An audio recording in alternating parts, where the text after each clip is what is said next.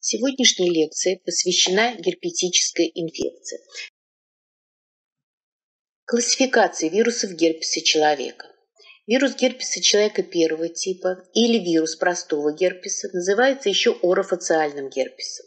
Вирус герпеса человека второго типа или, вирус простого герпеса второго типа называется генитальным герпесом. Вирус герпеса человека третьего типа носит свое название варицелли герпес зостер или вирус ветряной оспы, вирус опоясывающего лишая, еще сокращенно называется вирус ВЗ. Вирус герпеса человека четвертого типа называют еще вирусом Эпштейн-Барр. Вирус герпеса человека пятого типа получил свое название как цитомегаловирус. Вирусы герпеса человека шестого, седьмого и восьмого типа других названий пока не имеют. Вирус простого герпеса первого типа поражает кожу и слизистую верхней половины туловища. Вирус простого герпеса второго типа поражает кожу и слизистой нижней половины туловища, и его также связывают с развитием рака шейки матки и атеросклероза. Но в настоящее время изменившиеся нашей видеопродукции, изменившиеся сексуальными отношениями, вверх с низом перемешались так, что поставить по локализации данную вирусную инфекцию невозможно. Необходимо только вирусологическое обследование. Источник инфекции для вируса простого герпеса – это человек, инфицированный вирусом. В зависимости от локализации вирус содержится в носоглоточной слизи, в конъюнктивальном секрете, в слезе, также может содержаться и в вагинальном секрете, в зависимости от того, где происходит визикулезное высыпание, в сперме. Также вирус выделяется из крови и из мочи. Пути передачи вам здесь представлены контактно-бытовой, воздушно-капельный путь передачи. Вирус может попасть любым из этих путей передачи, но он попадает на нарушенные целостности кожи и слизи.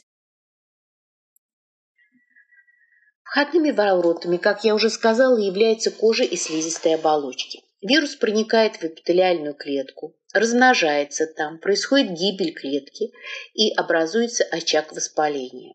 Из очага воспаления вирус может уже через лимфатические сосуды попадать в кровь, в нервные ганглии и в различные органы и ткани. Обострение герпетической инфекции связано с нарушением равновесия иммунной системы и пораженная клетка. Если будет прогрессирование иммуносупрессии у человека, то поражение может носить генерализованный характер с вовлечением в процесс головного мозга, легких, печени. Клинические формы вируса простого герпеса. Вирус простой герпес делят по течению первичной инфекции и хроническое рецидивирующее течение. Первичная инфекция развивается у детей в возрасте от 6 месяцев, чаще всего до 3 лет. И после этого вирус остается в организме на длительное время, и течение заболеваний переходит в хроническое рецидивирующее течение. По клинике мы видим у больных зуд, жжение, мелкие визикулки, пузырьки, которые окружены венчиком гиперемии. Иногда пузырьки сливаются, а затем после образования пузырьков развивается, образуется корочка. Высыпания всегда расположены группами.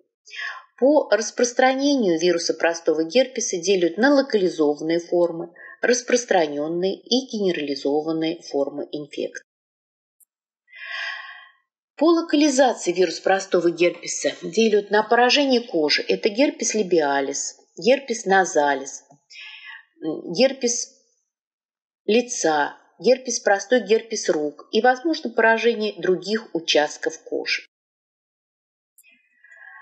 Поражение кожи выделяют, как разновидность поражения кожи, выделяют герпетическую экзему капуши. Герпетическая экзема капуши – развивается у детей с экземой, нейродермитом, когда вирус попадает на нарушенную целостность кожи. У мамы, у родителей, в окружении может быть герпес либиалис, а у ребенка на фоне экземы или нейродермита вирус попадает на, на нарушенную целостность кожи. Высыпание, э, заболевание протекает тяжело, с высокой температурой, симптомами интоксикации. На всех участках кожи появляется визикулезное высыпание, но больше всего на участках кожи, пораженной экземой или нейродермитом. Визикулы сначала прозрачные, потом они становятся мутные, образуется корочка, из-под которой может идти гнойное отделяемое. На всех кожных покровах будет высыпание группами. Заболевание, еще раз хочу сказать, протекает тяжело, длительно и нуждается в специфическом и теотропном лечении.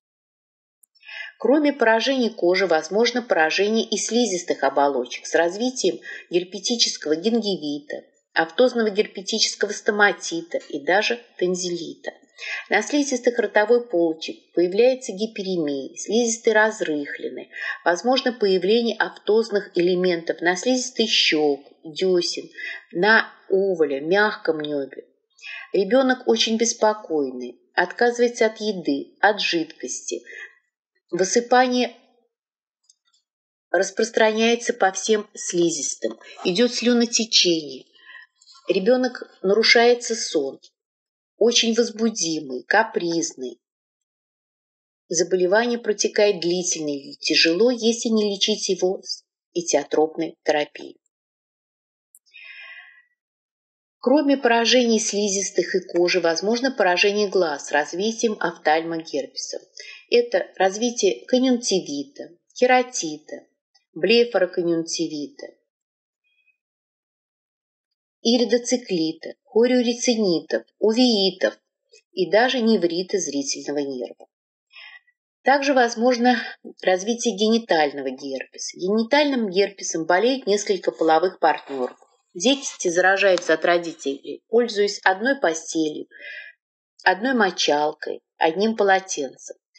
Высыпание бывает на границе между кожей и слизистым. Поражается головка полового члена. Высыпание может быть на половых губах у девочек, во влагалище, возможно персистенция в цервикальный канал, в уретру, с развитием даже герпетических эндометритров. Кроме этих поражений, возможно поражение центральной нервной системы с развитием энцефалитов, менингоэнцефалитов, невритов. 20% всех энцефалитов приходится на герпетическую природу. Возможно развитие и висцеральных форм вируса простого герпеса. Это гепатиты, пневмонии и другие проявления.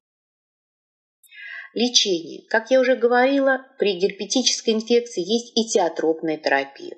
Это противогерпетические препараты группы ацикловир. Может быть различные фарм-названия. Это Завиракс, Виралекс, Вальтрекс, но основа в скобках всегда будет это ацикловир. Они есть как пароральные препараты, так и в виде мази. Но при подозрении на генерализованные формы герпетической инфекции показано внутривенное введение таких препаратов. Это Завиракс, Виралекс для парентерального внутривенного введения. Вне обострений вируса герпеса возможно применение противогерпетической вакцины, а также индуктор интерферона для повышения иммунной защиты организма. Следующая разновидность герпетической инфекции – это ветряная оспа. Ветряная оспа – это острая, высококонтагиозное вирусное заболевание. Эта вирусная инфекция распространена во всем мире и очень летучая инфекция, ветреная оспа, вирус ветряной оспы летит до 30 Вызывает эту инфекцию, как я уже сказала, вирус герпеса человека третьего типа или еще его название – вирус варицелли зостер или вирус ветряной оспы. Это ДНК, содержащий вирус. Он очень летуч, но мало устойчив во внешней среде. Источник инфекции – это больной человек. Пути передачи – воздушно-капельный, аэрозольный путь передачи. И, как я уже сказала, очень высокий индекс контагиозности – Восприимчивы все, кто не болел ветряной оспой, но преимущественно эти дети дошкольного возраста. Сезонность – это осенний-зимний период времени. Иммунитет стойкий, практически пожизненный. Входные ворота для ветряной оспы – это слизистые оболочки верхних дыхательных путей, где вирус размножается и к концу инкубационного периода по лимфатическим путям попадает в кровь, наблюдается вирусоемия. Стоком крови вирус распространяется по различным органам, по внутренним органам, но фиксируется он на эпителиальных клетках кожи и слизистых оболочек, образуя характерные визикулы, наполненные серозным содержимым. При генерализованных формах вирус может фиксироваться на всех внутренних органах, вызывая мелкие очаги некроза с кровоизлиянием по периферии. По классификации ветряную оспу делят по типу. Это типичная форма и атипичная. Типичная форма делится по тяжести – легкая, среднетяжелая и тяжелая. Атипичные формы по тяжести не делятся. Атипичные формы – это рудиментарная, геморрагическая, генерализованная или висцеральная, пустулезная, булезная и гангренозная.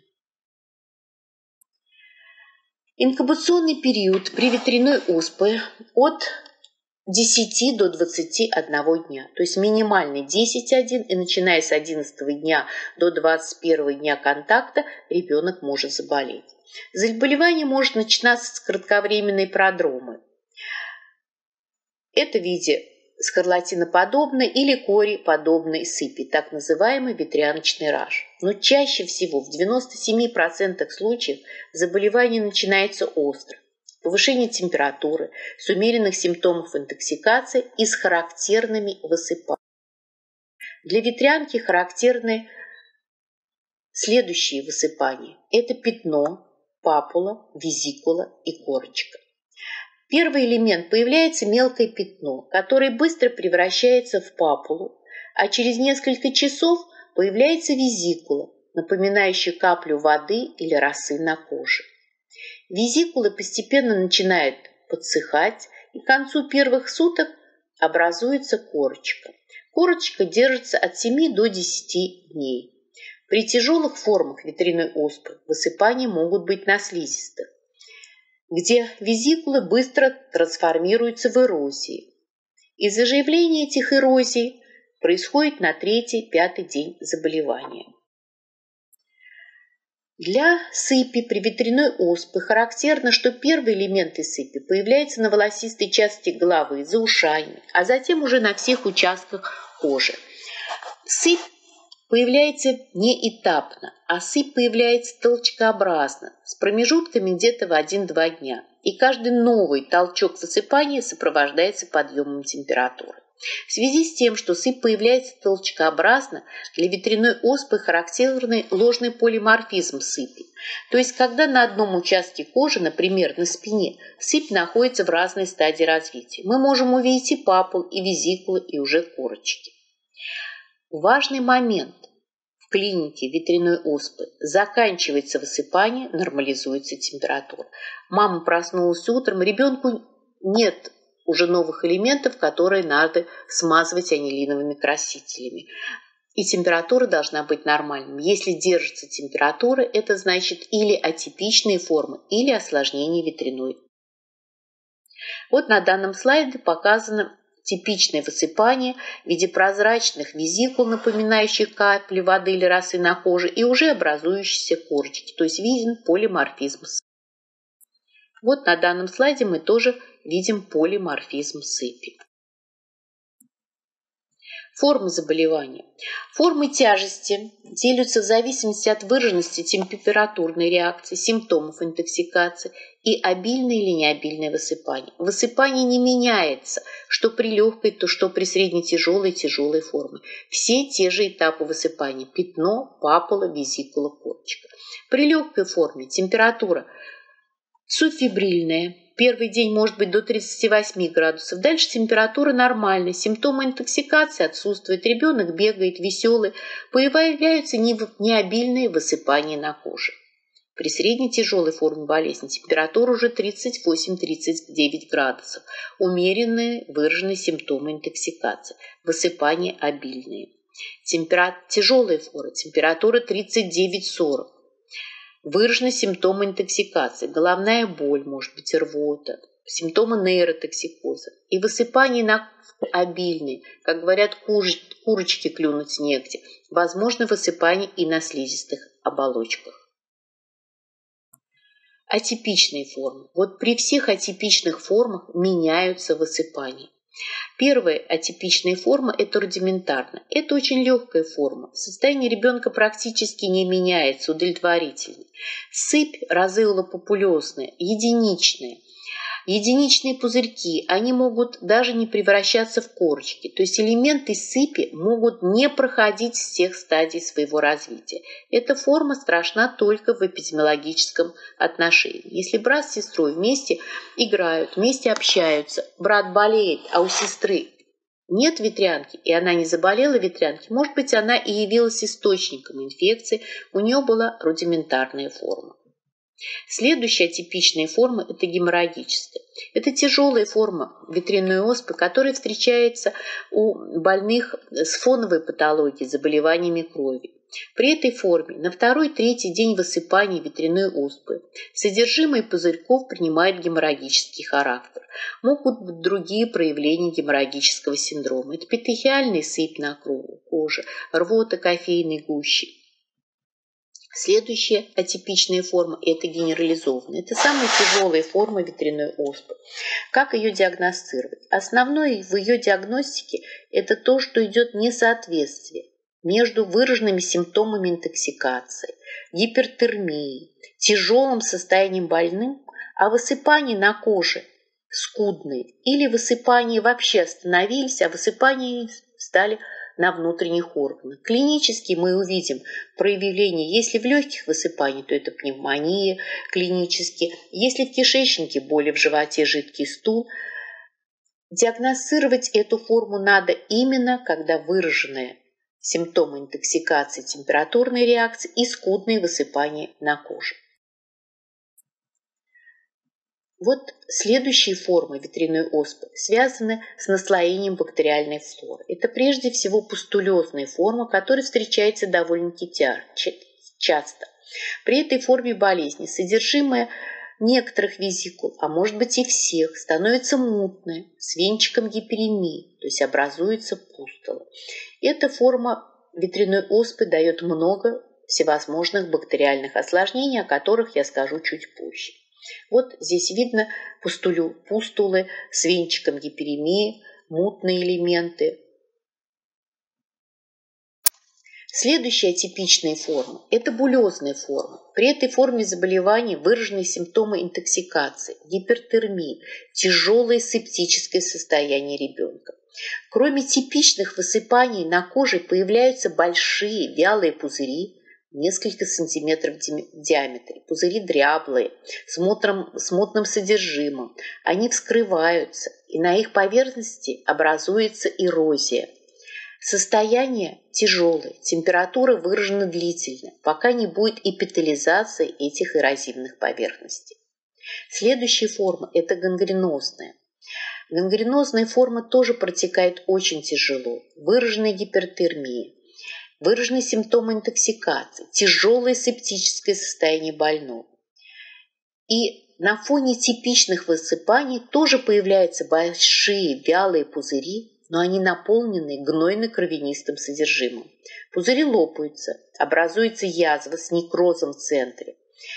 Температурные реакции, интоксикация держатся до тех пор, пока не будет рубцевания этих язв. Эти две очень тяжелые формы связаны с наслоением бактериальной флоры. Осложнения ветряной оспы. Осложнения делятся на две группы. Первая группа – это специфические осложнения инфекционно-аллергической природы. Это развитие ветряночного энцефалита. Ветряночный энцефалит развивается по типу мужичковой атаксии. У ребенка где-то на пятый-седьмой день появляется головокружение, шаткая походка, он неустойчив в позе Ромберга, не выполняет пальценно-носовую и коленно-пяточную пробу. Возможно развитие не только энцефалита, но и менингоэнцефалита. А также из поражения нервной системы – это миелиты. Возможно поражение сердечно-сосудистой системы с развитием кардитов. Кроме специфических инфекционно-аллергических осложнений, есть неспецифические осложнения. Это чаще всего на фоне пустулезной формы. Это развитие флегмона, абсцессов, вплоть до развития остеомиелитов и сепсисов, гнойных лимфоденитов, гнойных целлюлитов, рожистого воспаления. Если это пропущенная пустулезная форма и больной не получал соответствующее лечение как при бактериальной инфекции, то развитие таких осложнений возможно. Вот здесь представлено розжистое воспаление на коже груди, живота. Лечение ветряной оспы. Лечение типичной ветряной оспы – это обработка элементов бриллиантовым зеленым, метиленовым синим или перманганатом калия, чтобы элементы подсушивать и не было наслоения вторичной флоры. Также обязательно соблюдение правил личной гигиены – это чистая постель, менять белье ребенку, чтобы не было ногтей, чтобы не попадала вторичная флора на высыпание. И бывает очень часто зуд и всевозможные аллергические наслоения, поэтому десенсибилизирующей терапии. Если выражены симптомы интоксикации, то это дезинтоксикационная терапия в виде обильного питья, возможно, дача энтеродеза и различных патогенных чаев. При тяжелой форме ветряной оспы возможно назначение противогерпетических препаратов ПРОС. Это препараты ацикловира, о которых я вам уже говорила. При подозрении на генерализованную форму здесь обязательное назначение противогерпетических препаратов внутривенно. Это ацикловир по 15 мг на килограмм в сутки каждые 8 часов. И если с поражением центральной нервной системы, с развитием менингоэнцефалитов, то это до 30 мг на килограмм в сутки каждые 8 часов внутривенно капельное. При атипичных формах с наслоением бактериальной флоры, таких как пустулезная, булезная, гангренозная, это обязательное назначение антибактериальных средств. Возможно, пероральное назначение антибиотиков при пустулезной форме или парентеральное, если подозрение на устную и гангренозную форму. Следующее – это опоясывающий лишай. Опоясывающий лишай вызывает тот же самый вирус, вирус герпеса человека третьего типа. Этот вирус, я вам уже сказала, вызывает острое инфекционное заболевание ветряную оспу. А вот опоясывающий лишай относится к оппортунистической инфекции – Болеют им лица, только перенесшие ветряной оспу и имеющие нарушение в иммунной системе, то есть со сниженным иммунитетом. Характеризуется опоясывающий лиша – это визикулезными высыпаниями, которые тесно сидят по ходу отдельных чувствительных нервов. Сначала появляется чувство жжения, боли, зуда, покалывания – пораженных участках кожи. А поражается участок кожи, иннервируемый межреберным нервами, тройничным нервом, по ходу седалищного нерва. К концу первых-вторых суток на коже появляется покраснение, а затем образуются мелкие папулы, которые быстро превращаются в пузырьки с прозрачным содержимым. Через несколько дней содержимое пузырьков мутнеет, а гиперемированный эритематозный фон бледнеет, и к концу недели образуются корочки. Высыпания идут группами, высыпания могут продолжаться в течение длительного времени, и выражен болевой синдром. Болевой синдром может сохраняться и после высыпания. Но надо отметить, чем младше ребенок, тем менее выражен болевой синдром. А у маленьких детей мы можем вообще не видеть болевого синдрома. Вот здесь вам представлены фотографии опоясывающего герпеса, пораженные участки кожи, мы видим здесь межреберные промежутки, поражаются участки кожи еще иннервируемые тройничным нервом и по ходу седалищного нерва. Лечение опоясывающего лишая тоже назначается театробной терапией противогерпетическими препаратами из группы ацикловира. Единственное, их доза удвоенная больше в два раза по инструкции, чем при ветряной оспе. А при генерализованных формах введение противогерпетических препаратов внутривенно. Также могут использоваться и противогерпетические препараты местно в виде мази. Если часто идут проявления шая, то это возможно применение индукторов интерферона больных и обследовать их на иммунный фон таких больных. Вирус герпеса человека четвертого типа или Эпштейн-Бар вирус. Этот вирус вызывает лимфопролиферативные заболевания, такие как инфекционный мононуклеоз и лимфома Беркет. В то же время этот же самый вирус вызывает назофарингеальную карциному и ваорсистую лейкоплакию языка. Останавливаться более подробно на этом вирусе я не буду, потому что у нас будет для вас лекция по инфекционному мононуклеозу, вызванному Эпштейн-Бар вирусом. Следующий вирус герпеса человека пятого типа или цитомегаловирус. Этот вирус может вызвать первичное инфицирование человека, и заболевание это может протекать в виде мононуклеоза или мононуклеозно-подобного синдрома. И мы называем это цитомегаловирусный инфекционный мононуклеоз. Но также может и инфицирование вируса пройти незамеченно и в виде субклинической формы. Но возможна и реактивация этого вируса после латентного проникновения может быть реактивация, которая может протекать в виде ретинитов, поражения центральной нервной системы, поражения желудочного кишечного тракта, развития пневмонии, надпочечниковой недостаточности, возможны другие проявления цитомегаловирусной инфекции. Возможно, если женщина инфицируется во время беременности, при э, переливании крови, крови заменителей или оперативном вмешательстве, во время беременности возможно дальнейшему ребенка развитие синдрома врожденной цитомегалии. Это крайне редко встречается синдром врожденной цитомегалии, но о нем надо помнить. Это прежде всего низкая масса тела ребенка при рождении, геморрагическая сыпь, тромбоцитопения, анемия, желтуха, гепатоспленомегалии, возможно развитие микроцефалии и хориоретинита. Ставится этот диагноз, конечно, если есть эпидемиологический фактор, если женщина во время беременности, еще раз повторяю, получала какие-то внутривенные инъекции крови и кровезаменителей. И обязательно надо обследовать больных вирусологически и доказывать этот синдром врожденной цитомегалии. Возможно развитие и малого симптома комплекса цитомегалии у новорожденных детей. Если у женщины во время беременности была реактивация цитомегаловирусной инфекции, не заражение, а реактивация, то возможно вот это малый симптома комплекса, который проявляется низкой массы тела у ребенка, гепатоспленомегалии и персистирующей желтухой. Вот детей низковесных с гепатоспленомегалией и затянувшейся желтухой надо тоже обследовать на цитомегаловирусную инфекцию. Возможно развитие скрытого цитомегаловирусного синдрома, который не диагностирован при рождении, а он проявляется в более старшем возрасте. Обычно это э, у дошкольников или младшие классы школы. Проявляется он в сенсорной тугоухости. Эти дети трудно в обучении, у них появляются различные минимальные мозговые дисфункции. Еще раз хочу подчеркнуть, что заражение цитомегаловирусной инфекцией возможно от гемотрансфузии.